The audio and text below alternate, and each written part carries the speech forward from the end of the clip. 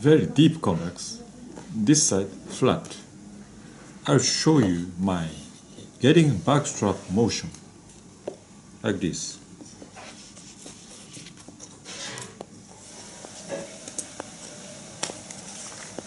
It slides on the bones very well.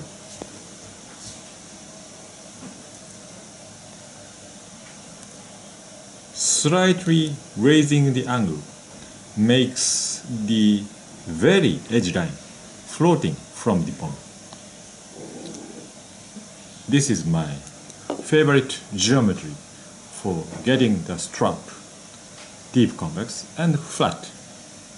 This flatness is only for sharpness, for hunting. For feather sticking, different.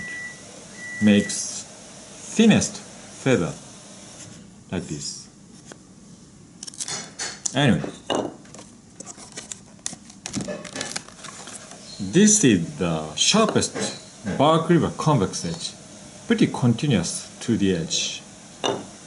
No fatness near the edge zero convex doesn't go forward very well.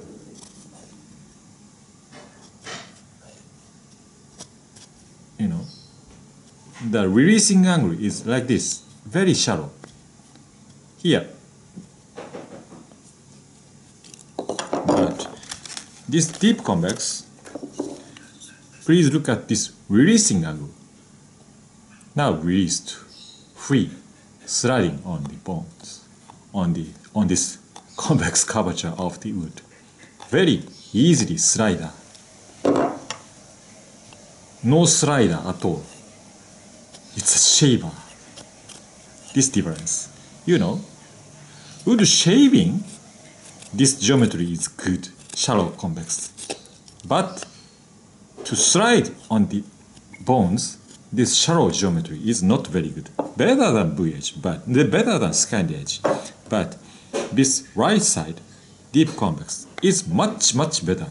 You know, no taking, no biting, just sliding.